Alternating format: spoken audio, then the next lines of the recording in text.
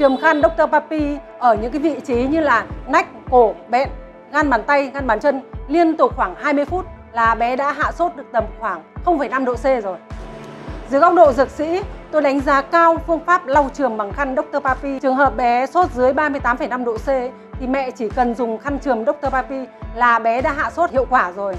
Trường hợp bé sốt cao trên 38,5 độ C thì mẹ kết hợp dùng thuốc và khăn chườm Dr. Papi thì con hạ sốt nhanh hơn.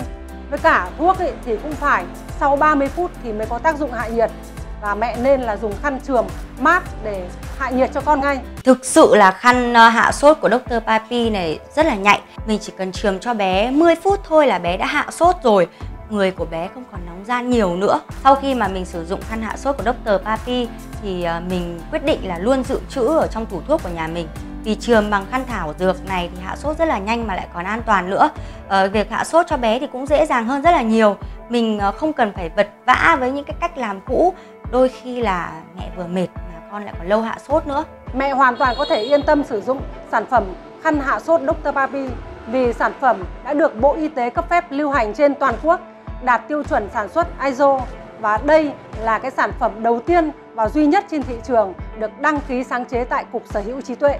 Đặc biệt hơn, sản phẩm này hạ sốt tốt, nhiều mẹ tin dùng. Nhà thuốc chúng tôi bán chạy cái sản phẩm này lắm. Nếu các mẹ đang cần một giải pháp để hạ sốt tốt nhất có thể cho con ấy thì hãy sử dụng sản phẩm của Dr. Papi này nhé Bởi vì là mình dùng rồi và mình thấy nó hạ sốt rất là nhanh và còn an toàn nữa Mình thực sự rất hài lòng với cái sản phẩm này Hướng dẫn mua hàng từ video các bạn có nhu cầu đặt mua hãy bấm vào link đặt hàng bên dưới video bằng cách sau. Nếu xem trên điện thoại, hãy bấm vào tiêu đề của video. Khi đó màn hình sẽ hiển thị ra thông tin về sản phẩm. Bấm vào link mua hàng như hình, điện thoại của bạn sẽ mở ra website đặt mua. Nếu ở màn hình máy tính thì link sẽ nhìn thấy ngay bên dưới video, các bạn chỉ việc bấm vào link và màn hình sẽ ra trang web công ty để đặt mua.